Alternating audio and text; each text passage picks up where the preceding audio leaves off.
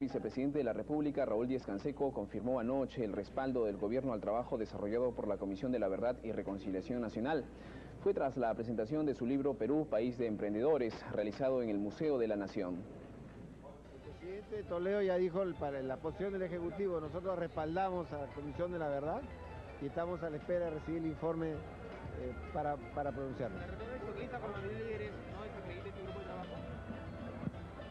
No, yo creo que a ese respecto ya dijo la primera ministra la posición del gobierno.